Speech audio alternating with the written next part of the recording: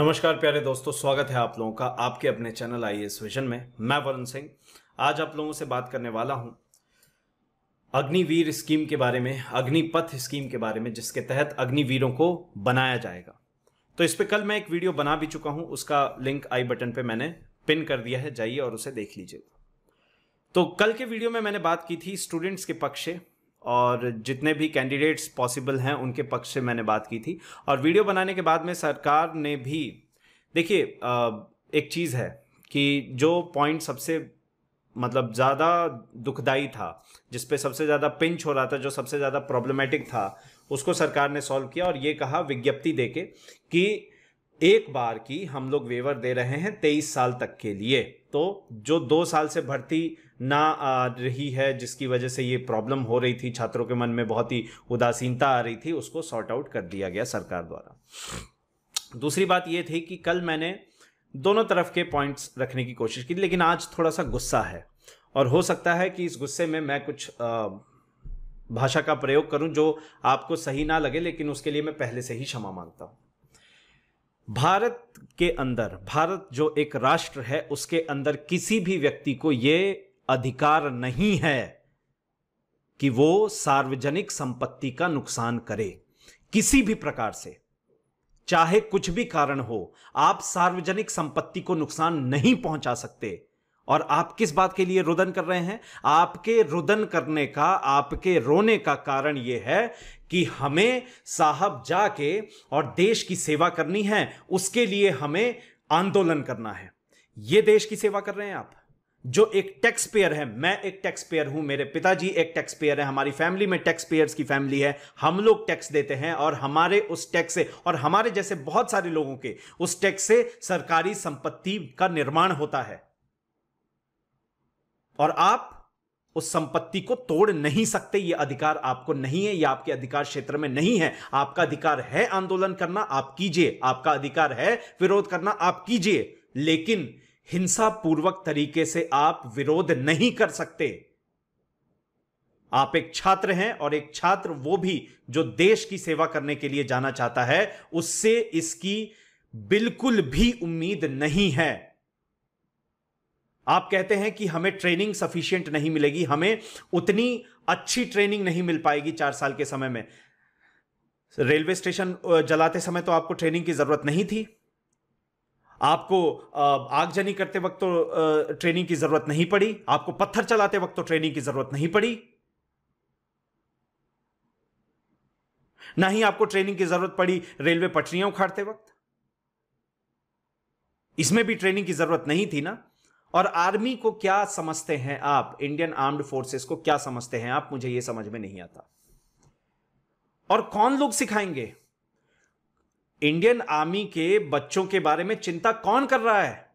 वो अरविंद केजरीवाल, जिन्होंने सबूत मांगा था सर्जिकल स्ट्राइक का। एयर स्ट्राइक का राहुल गांधी ने सबूत मांगा था। और ये लालू पुत्र, ये बताएँगे जिन्होंने बिहार की छवि को जिनके पिताजी ने धूमिल किया जिनकी वजह से आज भी बाहर निकलने पे, बिहार से राज्य से बाहर निकलने पे लोग एक बिहारी शब्द को गाली की तरह प्रयोग करते हैं। मैं बिहार से हूँ, मैं जानता हूँ। ये लालू पुत्र बताएँगे। आर्मी का क्या जानते हो बे? आर्मी का ए नहीं पता आपको। And you guys will tell और आपको क्या लगता है कि ये जो स्कीम बनी है इसमें जो प्रॉब्लम थी उसको सॉर्ट आउट किया गवर्नमेंट ने। और मैंने कल भी कहा था कि गवर्नमेंट को ट्रायल बेसिस पे करना चाहिए। है ना? और ये बात है। लेकिन उन्होंने भी आपकी बात मानी। अब आपको क्या अधिकार है हिंसा करने का? यह बात बताइए मुझे कि जब सरकार ये स्कीम बना रही थी तो आपको क्या लगता है कि जो एक अभ्यर्थी है, उसके पिताजी घास काट रहे थे। उनको आइडिया आया, उन्होंने तुरंत मैसेज किया, मोदी सरकार ने बना दिया। यही लगता है आपको? जबकि भारत सरकार द्वारा यह स्पष्टीकरण दिया जा चुका है कि जितने भी सैन्य बल के ऑफिसर्स रैंक के जो अधिकारी हैं, उन्होंने भी इसमें पार्टिसिपेशन किया है। उन्होंने भी अपने सुझाव दिए हैं। और समय के साथ बदलाव आवश्यक है। Nothing is permanent the only thing that is permanent in this world is impermanence आपको यह समझना होगा। आज से सत्तर साल पहले, सत्तर वर्ष पहले जो स्थिति थी, वो आज नहीं है। वैश्विक परिदृश्य बदल रहा है। जियो पॉलिटिक्स अपनी करवट ले रही है। और उसके लिए क्या भारत तैयार है? और मैं इसमें जो अभी की सरकार है जो केंद्र सरकार है मोदी सरकार है मैं इनकी न, इनकी नकारापन को मैं बहुत ही इसकी भर्त्सना करता हूँ और इसको मैं बहुत ज़्यादा इसकी निंदा करता हूँ। इनको तभी रोक देना चाहिए था जब सीएए और एनआरसी के नाम पे झूठ फैलाया गया और शाहीन बाग में दंगे कराए गए और उसके बाद में वो दंगाई बैठ के और शांतिपूर्वक धरना प्रदर्शन का ढोंग करते रहे। मैं भर्त्सना करता हूँ जो किसान आंदोलन के नाम पे इन्होंने इन, जो ड्रामा हुआ और जिसमें इतनी हिंसा हुई और हमें भूलना नहीं चाहिए कि तिरंगे झंडे का कितना बुरा अपमान हुआ था। तो जब भी आप कोई स्कीम लेके आते हैं तो आपका पीआर इतना स्ट्रांग होना चाहिए कि पब्लिक तक ये झूठ ना पहुँचे। वरना योगेंद्र यादव जैसे लोग आते हैं, टीवी पे चार बिंदु, एक, दो, तीन, चार ऐसे करते हैं और झूठ फैला देते हैं। तो कहीं ना कहीं आपको ये सच्चाई लोगों तक पहुँचाने की आवश्यकता है, क्योंकि इस चक्कर में जो आपके अच्छे काम हो रहे हैं, वो भी लोगों तक नहीं पहुँच पाते। इस डिपार्टमेंट में आपको काम करने की बहुत आवश्यकता है। और मॉडर्नाइजेशन का एक छोटा सा उदाहरण मैं आपको देता हूँ। आज आप रफेल मंगा रहे हैं, लेकिन रफेल से दो जनरेशन आगे तक का फाइटर जेट अमेरिका डिज़ाइन करके बैठा हुआ है। और यहाँ पे रफेल आने पे भी ड्रामा हुआ था। हमें पता है कितना बड़ा ड्रामा हुआ था। और मैं ये सब, वरुण सिंह आप कौन होते हैं, आपको क्या पता है आर्म्ड फोर्सेस के बारे में? मुझे आप लोगों से एक परसेंट तो ज़्यादा पता है। क्योंकि भोपाल में मैं दौड़ा था इंडियन आर्मी में ऑफिसर बनने के लिए मैं गया था। एसएससी मैंने दिया हुआ है। मैं छट गया था। जी हाँ, मैं छट गया था। नहीं हूँ मैं मेडिकली फिट तो आपसे ज़्यादा पता है। आपका कहना है कि उस युवा का क्या होगा। आप एक बात समझिए।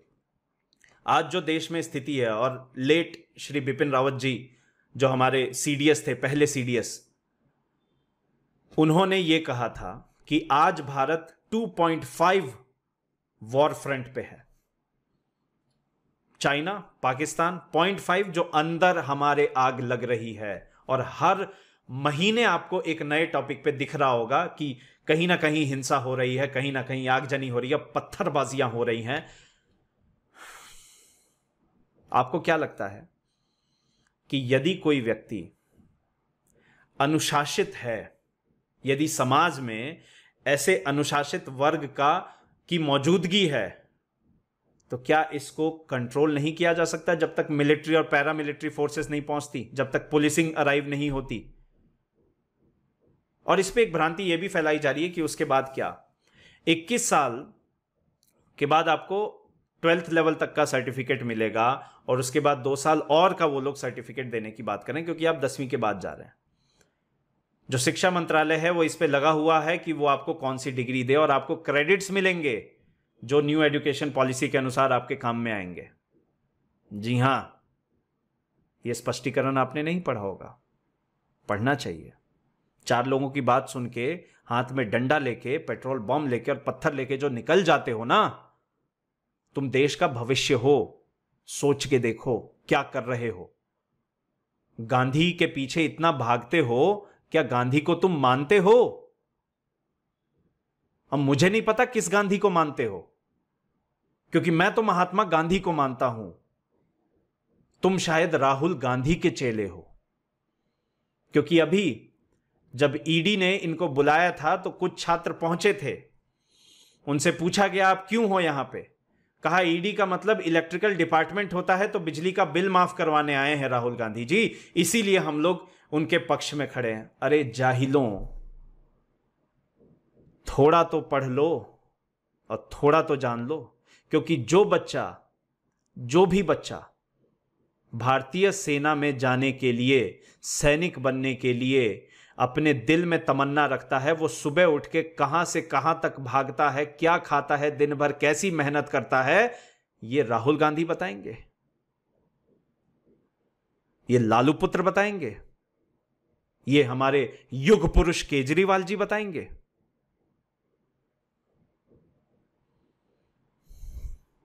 और जो अनुशासित लड़का है, उनमें से एक आपको बाहर नहीं दिखेगा। एक बाहर नहीं दिखेगा। वो अभी भी अपनी तैयारी में लगा हुआ है।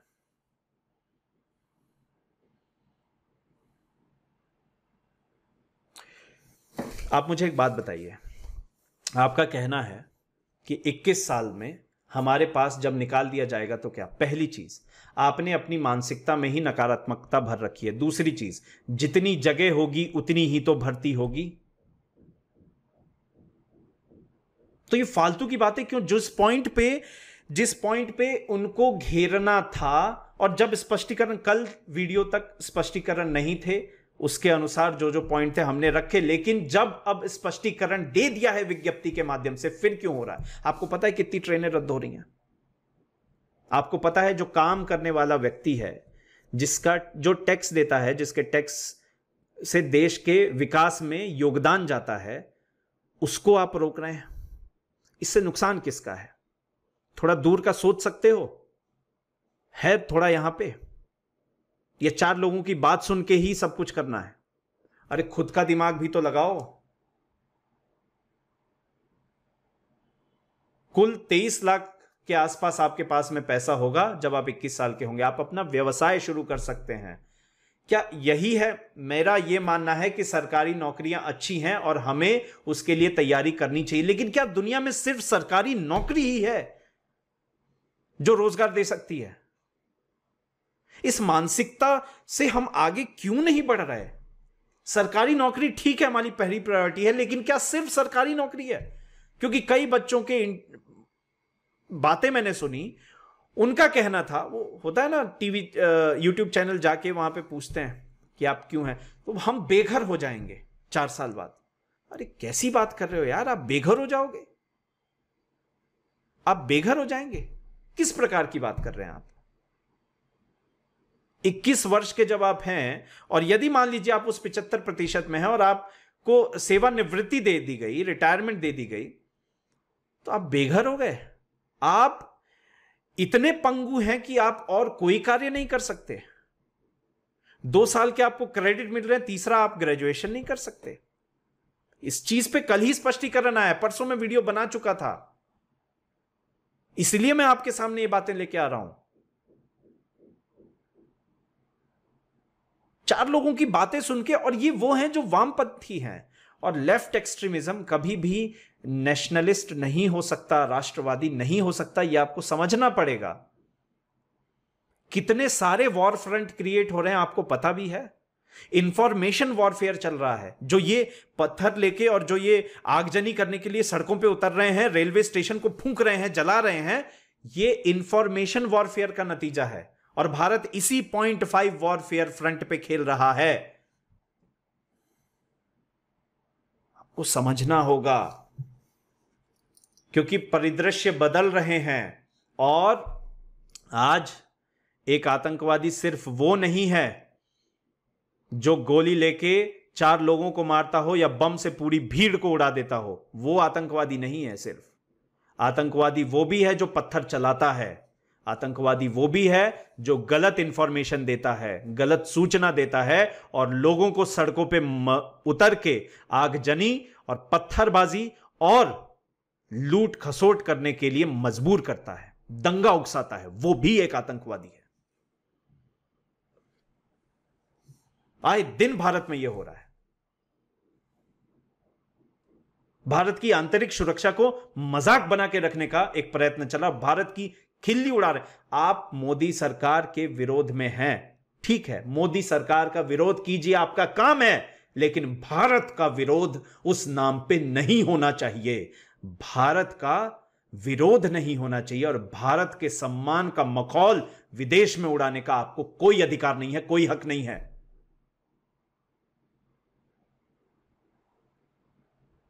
आज इनकी सरकार है, कल आपकी होगी। लेकिन मखौल उड़ाने का अधिकार आपको नहीं है। भारत का, आप एक दूसरे पे उड़ाइए मज़ाक जितना करना है। एक दूसरे के ऊपर कीचड़ उछालिए जितनी भी करनी है। क्योंकि जनता को समझदारी दिखानी पड़ेगी।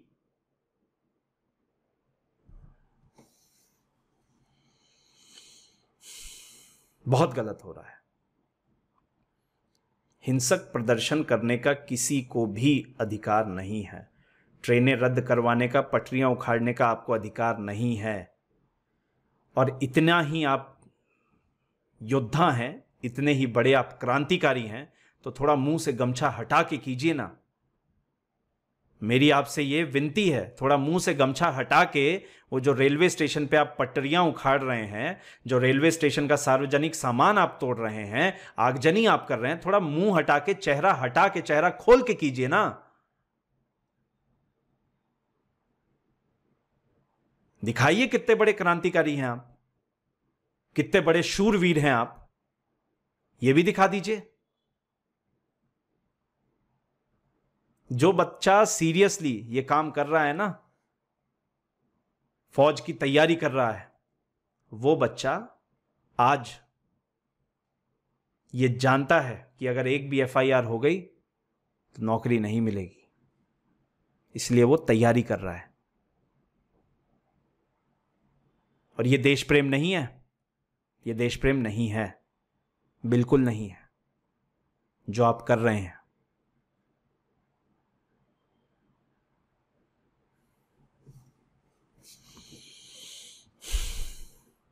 बहुत गलत है। आपको पता है ये all India all class service है? यानी इसमें कोई जाति पाति भेदभाव नहीं होगा तो चार साल जो अनुशासन बनेगा आपका, चार साल, सालों में जो आप अनुशासन सीखोगे, उनमें सबसे बड़ी चीज़ जाति पाति से ऊपर उठना भी सीखोगे। आज समाज में जो जात पात के नाम पे भेदभाव है, वो भी हटेगा। दूर का सोचो और जो दो साल वाले रो रहे थे और जो कि बिल्कुल सही बात है, उनका रोना बनता भी था, उसको सरकार ने उस बात को सही, उस बात को अपने संज्ञान में लिया और विज्ञप्ति के माध्यम से सॉल्व किया है, जाके देखो उसे।